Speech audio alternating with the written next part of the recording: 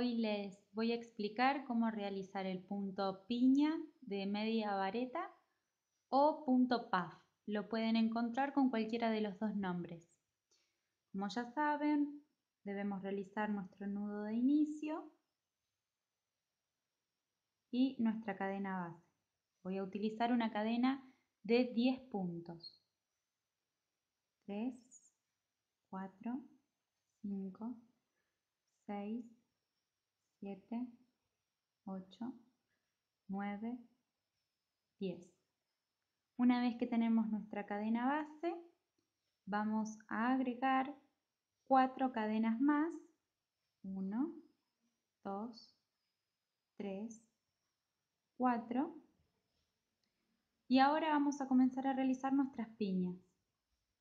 Debemos enroscar la lana sobre la aguja y vamos a contar cuatro cadenas, 1, 2, 3, 4 y en la quinta vamos a picar.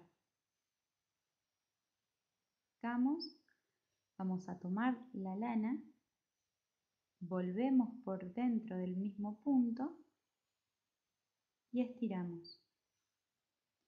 Nos van a quedar tres puntos dentro de la aguja. Nuevamente vamos a tomar la lana, vamos a volver a pasar por adentro del mismo punto,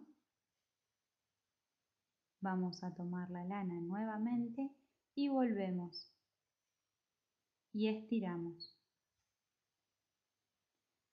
Nos van a quedar cinco puntos dentro de la aguja. Lo vamos a hacer una vez más.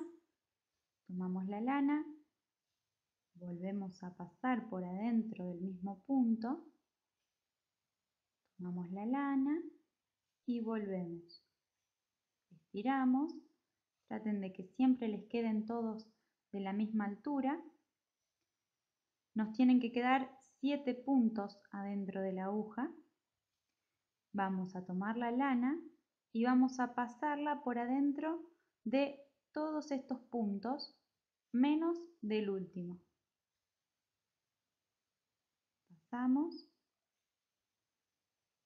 Nos van a quedar dos puntos, vamos a tomar la lana y sacamos los dos puntos juntos. Aquí ya tienen hecho la primer piña. Van a realizar dos cadenas para dar el espacio y van a contar dos cadenas acá para que tengan el mismo espacio, tanto de arriba como de abajo. Van a enroscar la lana y en la tercera cadenita de abajo es donde van a picar. Pican, toman la lana, vuelven y estiran.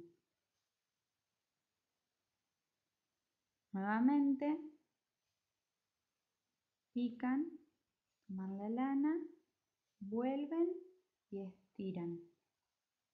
Ya tienen 5, nos faltaría una vez más.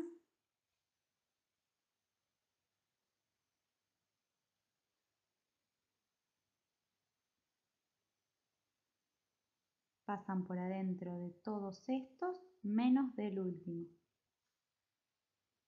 Nos quedan dos. Tomamos la lana y retiramos los dos juntos.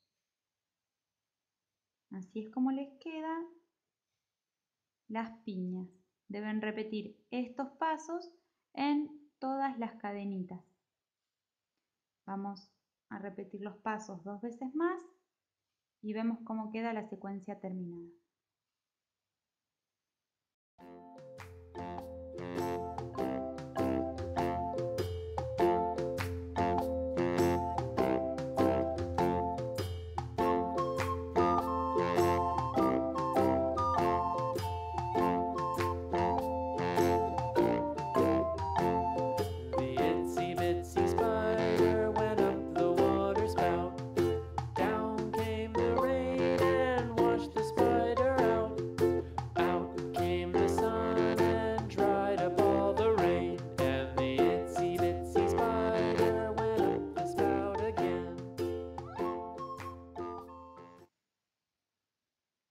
Así nos quedaría la primera vuelta de puntos piñas terminada.